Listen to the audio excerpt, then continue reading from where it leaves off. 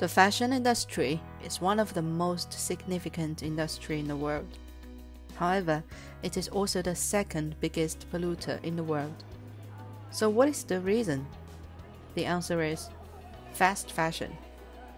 The fast fashion industry is responsible for producing 20% of global wastewater and emitting 1.2 billion tons of carbon dioxide every year. I buy a couple of times a month fast fashion and I spend about a couple of hundred pounds each month as well. Um, yeah, so every trip I buy maybe three or four things, so a few tops, something like that. But um, yeah, what about you? Every trip I would buy maybe one to two things, usually in the sale, so even cheaper fashion. Not too often. I mean, today I've just bought some jeans, but generally I try not to buy it more than like something maybe once every month or two months, maybe.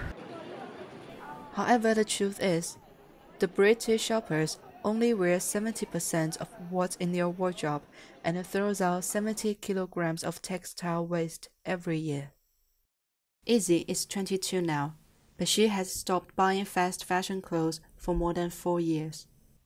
I understand why people fa- fast fashion, but especially people who don't have a lot of money and end up shopping fast fashion for things because of that. And I see that a lot of young people, my age and younger, um, are a bit addicted to shopping and they think that they constantly need the newest thing and they need to look like their favorite influencer who's wearing a new outfit every day. Um, it frustrates me, but I also don't think that it's my responsibility to like tell them what they're doing, that what I think they're doing is wrong.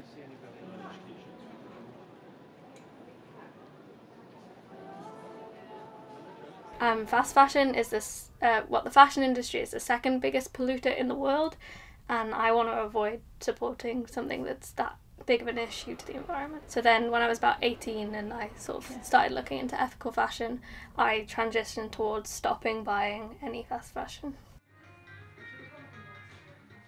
However, buying second-hand clothes is not as easy as shopping for fast fashion. When you're looking secondhand, obviously everything's only one piece in one size, so you're not always going to find what you're looking for. You have to change the way you look at things, and if you're not sort of in the mid size range, so from a UK size sort of like 8 to about 12, it's quite hard to find clothes secondhand because you're relying on people giving their clothes there, and there's not because fast fashion doesn't cater to plus size people, secondhand fashion it's harder to as well. In addition to insisting buying second-hand clothes, Izzy has been learned how to fix her clothing. I think that I'm giving clothes a second life. Like somebody's already worn these clothes, loved these clothes, and now I'm getting to do it again. I'm stopping them going into um, landfill. And also, it makes me look at clothes differently where I might not have bought something before if it didn't quite fit me or if it had maybe a hole in it. Whereas now I think, okay, this is cheap, this is secondhand. It doesn't really matter if I don't use it because I can always give it back to charity or to another friend. But it makes me think, okay, I'm going to go home and try and fix this or make this fit me better rather than just not getting it at all because it's not quite perfect. There used to be a time when buying secondhand was nothing to be proud of.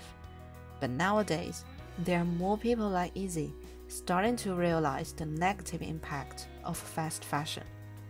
So maybe it's the best time to get some secondhand clothes for ourselves and take responsibility for environmental protection.